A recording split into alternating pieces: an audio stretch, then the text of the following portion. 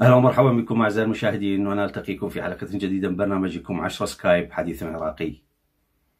ربما واحدة من النقاط التي يشترك بها كل حكام الدول الهشه الضعيفه الممزقه يعني التي يحكمها الفساد والخراب.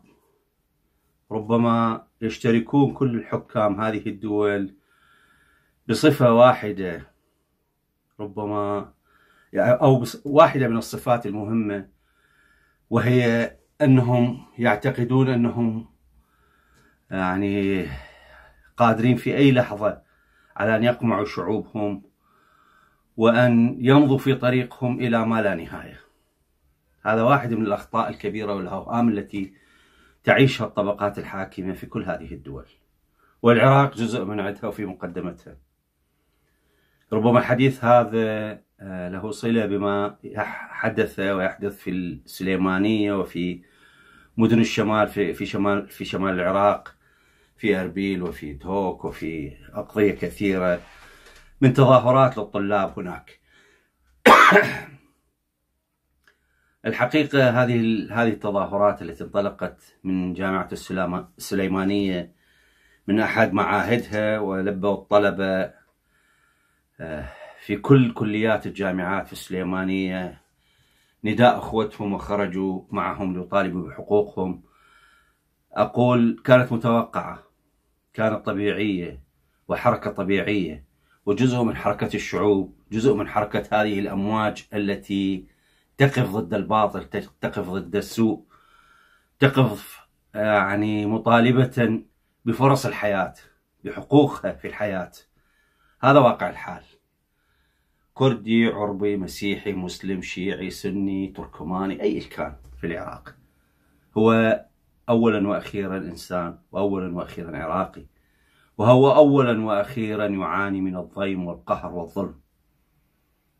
يعني ربما كنا نشاهد هذه المشاهد التي ظهرت على شاشات الكثير من القنوات الفضائية لهؤلاء الذين هربوا وغالبيتهم من العراق لكي يحاولوا محاولة يائسة للدخول إلى أوروبا والعيش في بلدان أخرى بعيدا عن العراق ووصلوا عند الحدود البيلاروسية البولندية وكانت هناك كارثة كبيرة وشاهدنا مقابلات مع الكثير منهم من, من عادوا مصرين على العودة مرة أخرى ومن لا زالوا هناك.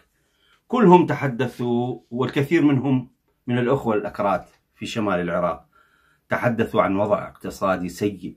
أجبرهم على هذه على هذه الرحلة العجيبة رحلة الموت هذه. الظروف الحياتية الظروف التي عاشوها.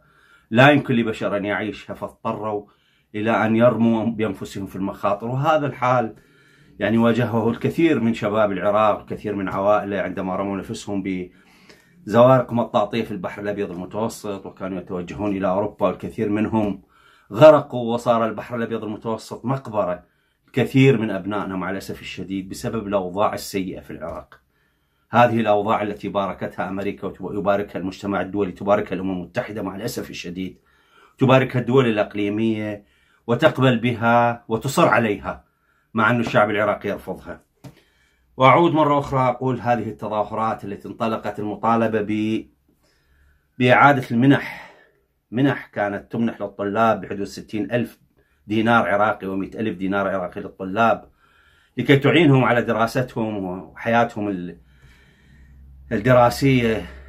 وقطعت منذ عام 2014 يعني واللي عندما قطعوها قالوا بسبب الظروف المالية الصعبة لكن بعد ذلك تطورت الآن ومن سنتين وأكثر الظروف المالية تحسنت وتفاهموا مع مثل ما يقولون مع المركز وجتهم الأموال وأسعار النفط ارتفعت وصلت إلى الآن يعني فوق ال 80 دولار 82 و 84 دولار للبرميل برميل النفط. وبالتالي في بحبوحة من الأموال تأتي للعراق لكن هذه المخصصات رغم مطالبة الطلبة بإعادتها لا تعاد ولا أحد يسمعهم لذلك خرجوا المطالبة بها وإذا بقوات الأمن تواجههم مثل ما واجهتهم في بغداد في الناصرية في البصرة في العمارة في كل أماكن العراق واجهتهم بالحديد والنار قنابل الغاز المسيل للدم ومع أنهم كانوا يتحدثون عن الديمقراطية والحرية وينتقدون تلك الأوضاع لكن واجهوهم بنفس القضية بنفس ال... بنفس الأسلوب. وسقطوا الكثير من الضحايا من الشباب الجميل من شباب شباب الجامعات في السليمانية وفي مناطق أخرى. وهم يهتفون مطالبين بفرص لحياتهم طالبين بحقوقهم. وأدى هذا القمع إلى ارتفاع سقف المطالب. هذا واقعي جدا. عندما تضغط ولا تستجيب للمطالب يرتفع سقف المطالب بين لحظة وأخرى. ارتفع سقف المطالب عندما وجد الطلاب أن لا أحد يسمع لهم ويحاولون أن يضغطوا عليهم يقمعونهم. ارتفع سقف المطالب وبدأوا يطالبون بإسقاط الأحزاب.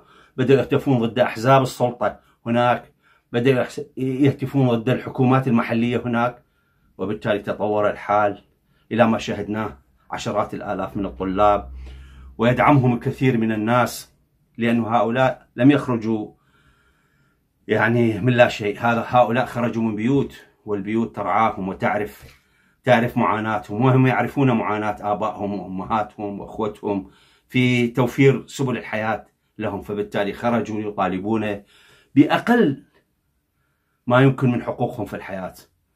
لكي يستطيعوا أن يتعلموا بشكل جيد ويكونوا آه، يعني أدوات للبناء في مجتمعهم في بلدانهم.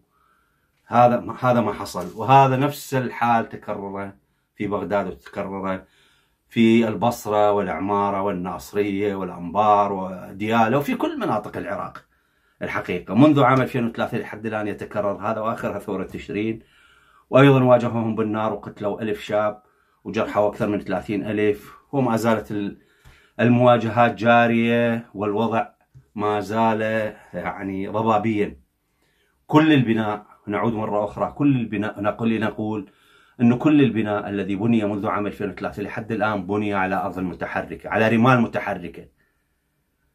وهؤلاء الذين يحكمون العراق مهما كان نوعهم مهما كان شكلهم يعتقدون أن هذا بنيانهم ثابت وهذا غير ثابت. ويعتقدون أنهم قادرين على شعوبهم. هم لا يستطيعون أن يقدروا على شعوبهم. شعوبهم لديها الحق وهي من تقرر مصيرها. بالتالي الشعوب هي من تقرر مصيرها. هي من تطالب والحقوق لا يعني لا تعطى تؤخذ. لذلك خرجوا هؤلاء وسيخرجون وسيكونون موجات كبيرة كبيرة. ستضرب يعني أعادوا قالوا وعدنا المخصصات لكن ثورة الطلاب لم تقف. ثورة الجماهير في شمال العراق لم تقف. الآن تطور السقف. لماذا تدفعون الناس إلى هذا؟ لماذا تهضمون حقوق الناس؟ تسرقونهم تؤذونهم وبالتالي تضطرونهم إلى الخروج عليكم وتواجهوهم بالنار والحديد. هذه مشكلة العقول الخاوية التي لا تعرف كيف تدير هذه الدول. مشكلة كبيرة الحقيقة. أعان الله العراق والعراقيين على ما ابتلاهم.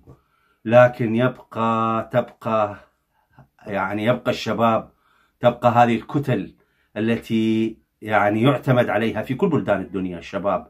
هم عماد البناء هم عماد الحاضر والمستقبل.